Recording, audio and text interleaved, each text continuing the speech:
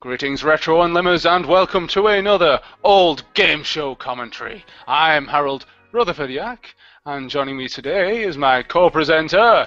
It is Mr. Desert Island Games, Mr. Executioner, JL76 Gaming. Ahoy there! Hi. Arr! So what's the show we're watching today, landlubbers? Oh, it's Bullseye. You can't beat a bitter Bully. I love this animated intro. Did they remove this from the latest episodes? They updated it, I think, but it was generally the same. Yeah, they had different people on the bus, different darts players on the bus. Oh my goodness, this is painfully 80s, even though it's Really? probably 90s. No, this is like this is no. You can tell this is eighties. Yes, and all the people in the audience are 80 years old. Jim Bowen was about sixty year old there, and he's still alive now, so he must be about ninety. Here come the contestants! Oh, look at those eighties t-shirts and haircuts. You can't beat it. Oh, one of those guys is the Wolfman, Martin Adams. By the way, this is just a random show that we've picked off YouTube. We've no idea what season or what episode it is. it just says full show too. Yes, uploaded by Central South 5, who Mr. JL76 Gaming claims no longer exists, so we can do commentaries over the top. I don't know what year this is from, but it could be as early as 1982 because it's been it's been on the go since at least 1982. In fact, Series 2 was 1982, so this could be a long, long time ago. Ah, okay. A long time before I was even alive then. Unfortunately, I was uh, I was six years old in 1982. So Oh, you weren't that old then. this used to be part of my Sunday afternoon entertainment. Um, we would watch. Um, I think it was Bullseye. He was on about maybe four o'clock on a Sunday, and then I think yeah, you got like sort of eh, heart to heart, and then you'd get the news, and then you'd get catchphrase at seven o'clock. Oh, those were the days. I used to watch it as well, but that must have been in the early 90s. I don't know if it was still running then, but I do mm. remember watching it because you used to be able to win, wait for it, a colour television. Turning the television off because it's uh, her latest trick turning the television off. And uh, Oh, we just talked about it then. Yeah, a hi-fi system. A carpet bag. Uh, plant Sandwich maker. toasty maker. Oh, you win. That's the best one. so what are they talking about here? Let's turn this up. expensive and you. So it's a bit prohibitive. that. That's right. You're not. So you're not being to stamps, Dennis. No. Well, the show is 25 minutes long. They've got to fill it all out somehow. Yeah. Just a bit of setup- banter.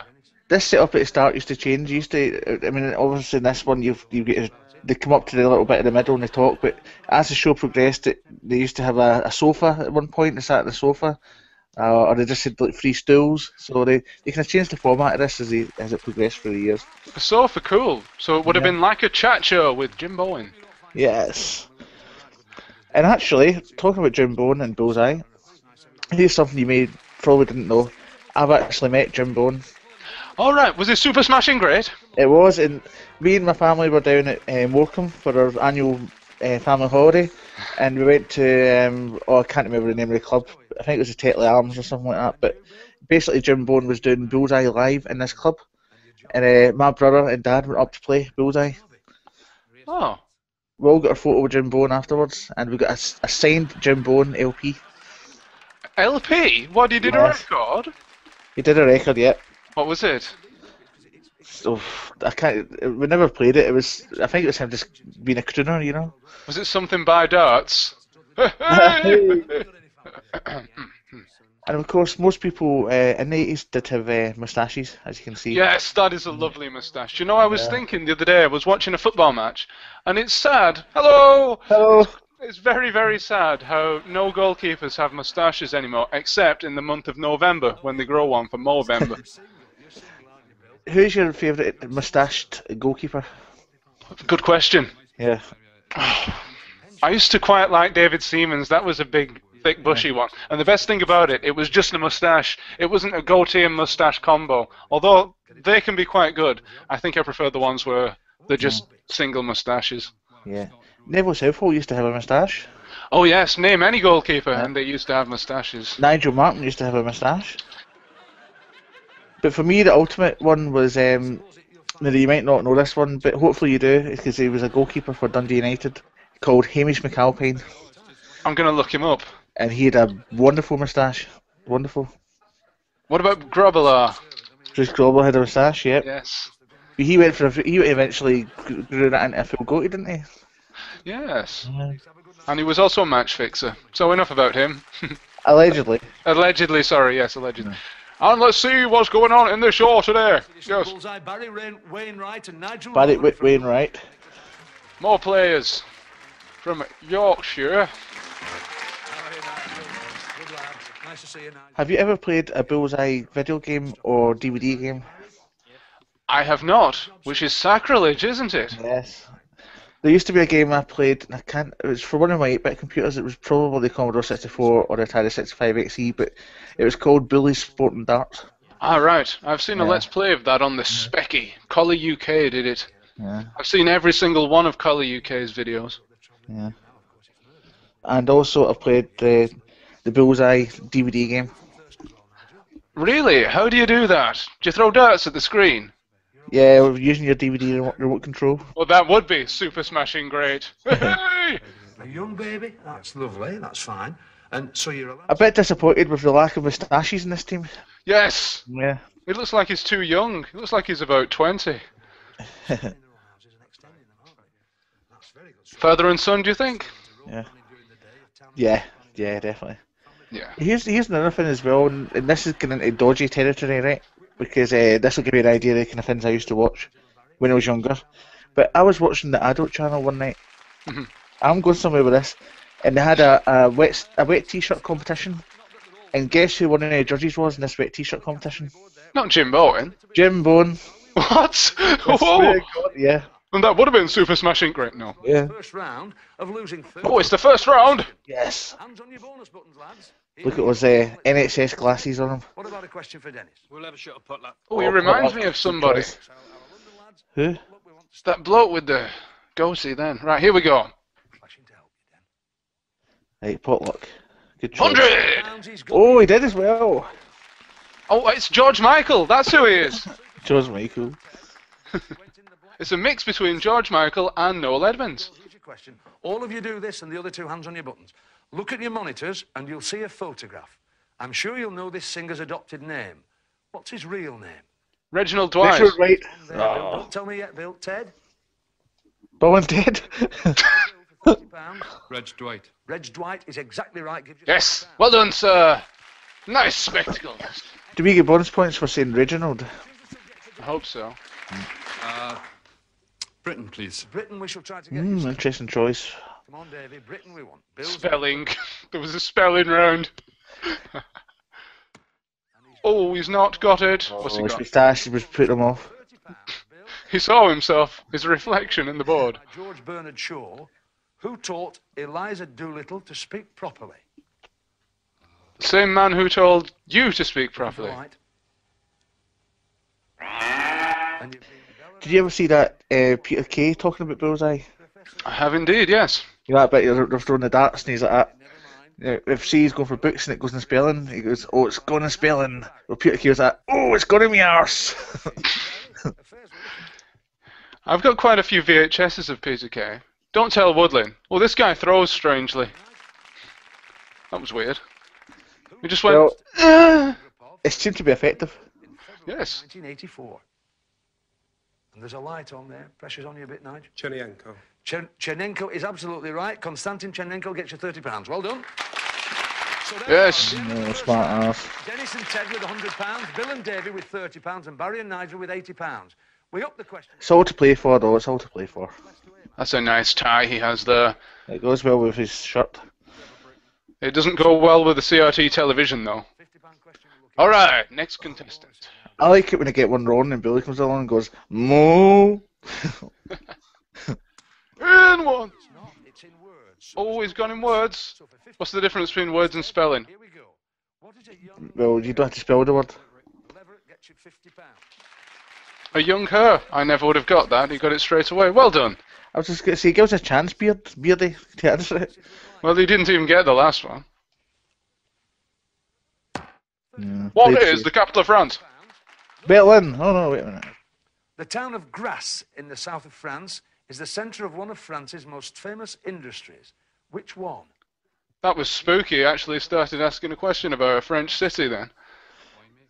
You've got a sixth sense, Mr. Yak. Nigel, whose lights on? Well, they always ask questions about France on these shows, though, don't they? Sorry about that. Uh, I can't say I've noticed, but it looks like it. Right, Nigel, choose a subject. Spelling, please, Jim. Spelling you shall have. Oh, spelling. You must be good at spelling. Oh, I love it when Bully did the spelling. He's like, that. he's what he watches along with his dictionary, doesn't he? When the SAS stormed the Iranian embassy, they abseiled from the roof. Can you spell abseil? Hmm. A B I thought he was going to say roof. S E I L. Is right. A diff- Yeah. No, he's got it wrong. No. No, you got it right, didn't you? All right, I do you got the points. All right. You My got, bad. You got points for that. I'm sure that's not how you spell abseil. Yeah, oh well, okay. I think it is actually. Bully will concur with his dictionary. His 1984 dictionary that doesn't have noob in it or frenemy. Lads, keeping patriotic to the end. Spelling. Never mind. Why are they not picking sport? Subject's. He's in spelling again. Bill. Sport, please. Sport, sir. Sport we'd like. Here we go. Uh, B- Jim Bowen was doing the devil horns there. Did you notice that? Yeah, Fifty pounds you've got. yeah. Sport. I bet it's cricket. In February 1984, a jump jockey became the second man in, his- in the history of national hunt racing to ride his 1,000th winner. Who was he? I don't know. Let's not pick it. Let's not pick it. Johnny Francome gets you 100. Peter Frampton. Oh, I never would have got that because it's incorrect. That guy in the middles came from behind. Well done to him. Nigel. History, please, Jim. I knew this would happen. We're just attempting to answer all the questions, aren't we? Yes. Is this guy again? Uh, It's like um, I'm free. That guy, isn't it? oh dear. I hope he's not watching this. He'll come and hunt us down. Ah, don't worry. The um, executioner will protect me. War. This was the last land battle in Britain. What was the name of the battle, Nigel? Waterloo. I don't know. I wasn't listening. Battle the Boyne. Mo. Well, I'm going to steal that sound effect and use it in my videos. You should. Culloden gets you another 100 pounds. Well done. Yes, they're on 310 quid now. Really, I should have known that, shouldn't I? Bill and David with 310 pounds. Nar- Barry and Nigel with 230 pounds. So I... Nari and Vigil. Barry, Barry, Barry, Barry. Harry and Barry. Oh, here we go. It is Noel Edmonds slash whatever the heck his name was from Wham. There's your tankard. Oh, they're not even getting tankards. This must be old ones. Well done, Dennis. And Ted. Oh, if they Oh, hand embroidered badges. they've been eliminated. Hold on, they don't even get their bendy bully. You get the money though. I'd take the money. Yeah, £250 is a lot of money back in those days. Yeah, back in those days when they literally used to count out the money in front of them and give them the money. It'll take me two minutes to count this money. £10. Ten pounds. It's all in two pences. yeah. One's your two's your three's your four. oh, a real dartboard. Hey, it's about time. None of that fake stuff. Do you think they had to replace the other board? Like when you see the real dartboards in Yeah. pubs and all the stuff inside is coming out, all the cork. It's all bursting out. Ah, Tony Green. I was wondering where he was. He'll appear later, won't he? He's here now. Oh, there he is, looking quite young though. Wearing his uh, bowling uniform. I do believe that in 2013, Bullseye made a bit of a comeback. And it may actually still be going right now. And Tony Green is. Still on it? Yes, he's still on it. I think it was Dave Spikey who presented it. Yeah. No, I, don't, I think it was a one series, a one off series. But yeah, I did watch it. Yes. They brought back Blockbusters as well, didn't they? Ah, you can't put Blockbusters down. That's one of the best TV shows ever. Yes. And it made a good video game as well on the Amstrad CPC. Maybe. I had an actual board game of Blockbusters. Oh, that would have been interesting. Can I have a pee, please, Bob? Yes, the toilet's through there. Interestingly, in the latest Golden Skull episode, they had Blockbusters in, in that. Didn't you see it? I haven't seen that yet. No, we'll Yeah, have to you'll watch that. I'm a bit behind on my videos, unfortunately. Barry, 43 to me. See, look how he's standing. Yeah, I think he's cheating. I'm free. Twenty. That is a strange throw that he's got. Huh! Huh! It's like he's throwing knives or something. Huh! It seems to be quite effective though. Well, yes, he got this far. He got to the show. Which official in the House of Lords carries a staff of office, which is an ebony stick surmounted with a gold lion? The speaker. Lord Chancellor. Man with the We can offer it stick. across to Bill. Black Rod. Black Rod gives you forty-three pounds. Well done. Black Rod, yes indeed, which is near Bolton. Is it?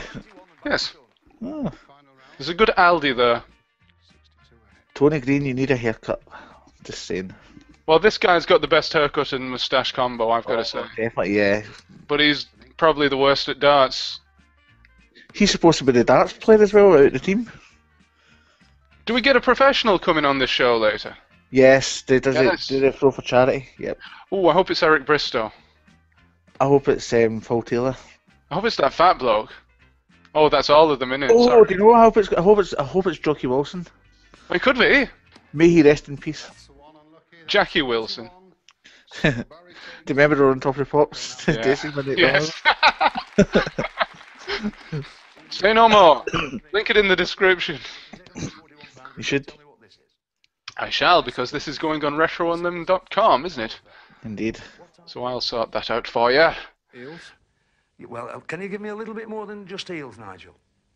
Baby eels. Baby eels gets you forty-one pounds. We're a little bit generous there because we're losing you anyway. So there we go. 300 These are very odd numbers that they've got there 353 and 332. Does that Yes. reflect how many that they've got on the dart? Yeah, it's whatever they've thrown on the dartboard, basically. Sorry, it's been a while since I've seen this. It's quite close in the end, wasn't it? But um, the the, the strange stand starts player has lost. The knife thrower. Yeah. It's not prepared him well for the world of bullseye. No. Oh, they've got the tankards, I'll be counting but still no Bendy Bullies. second half in a couple of minutes. Thank you very much.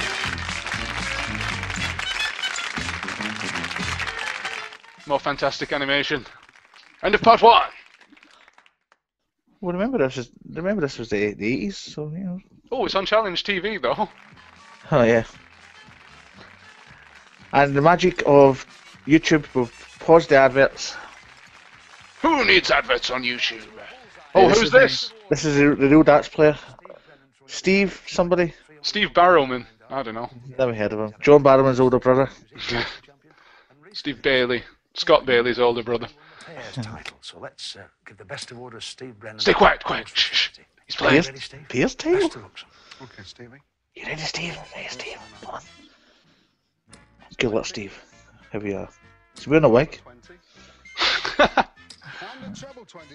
I'm gonna get a haircut like that. Yeah. I wanna- 100! I want a mullet. No. Oh, treble one. Oh dear. Treble twenty. Oh, and I think, another you, treble twenty. Well done. I think you're slightly ahead of me.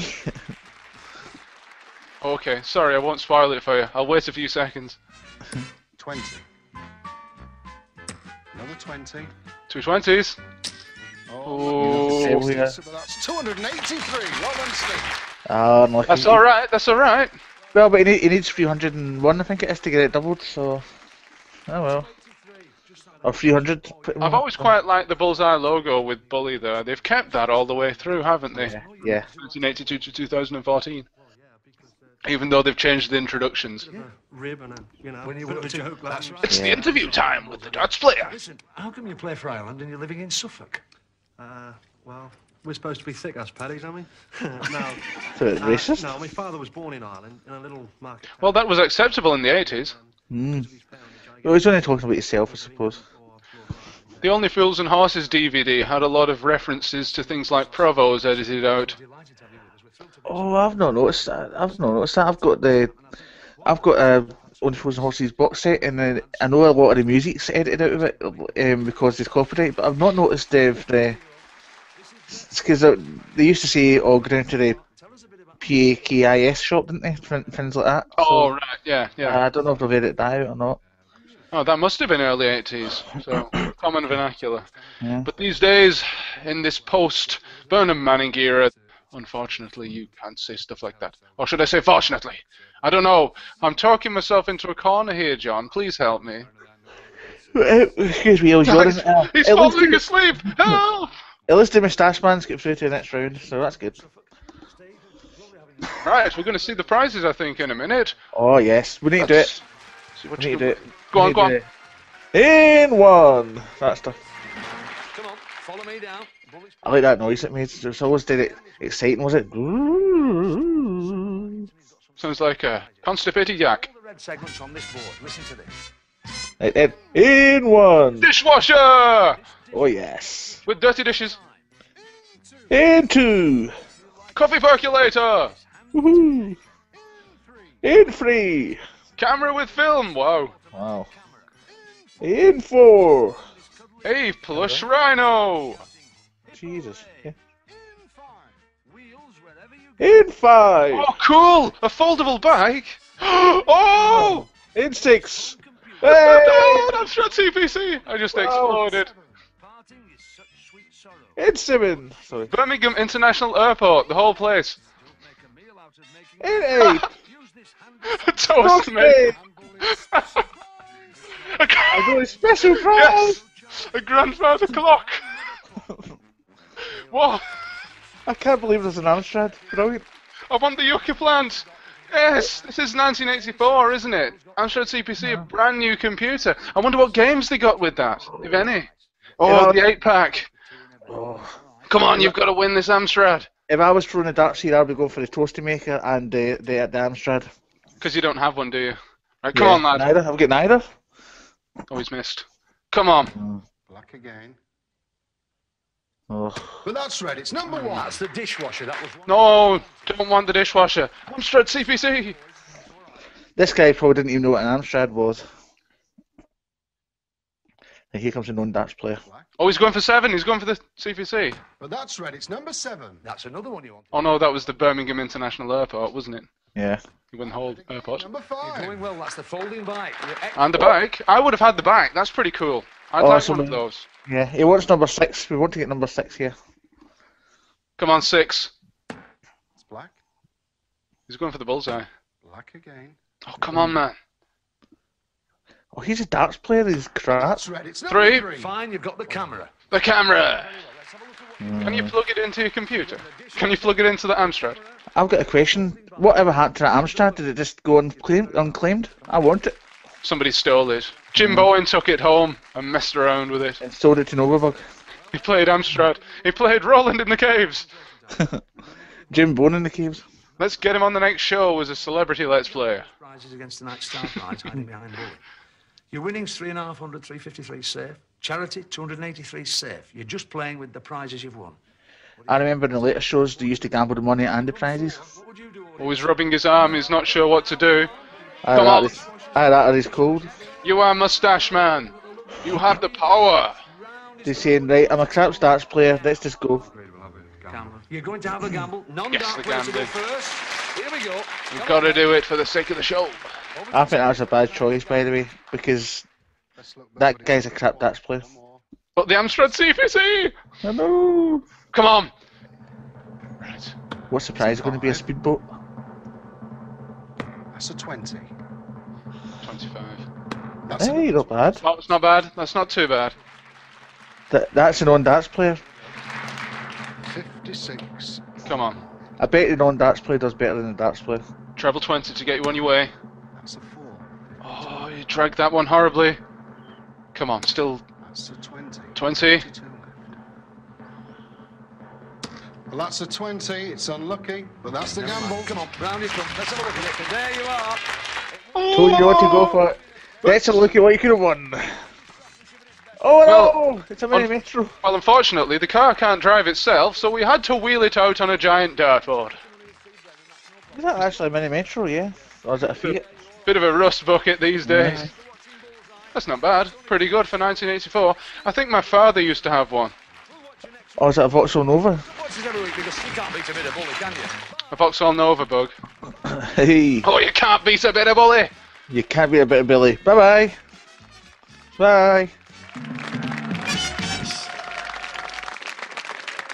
And that was a central production for RetroUnlim.com. Thank you very much for watching this very special TV show commentary. Joining me tonight was JL76 Gaming. What did you think of that, John? I had a lot of fun doing that.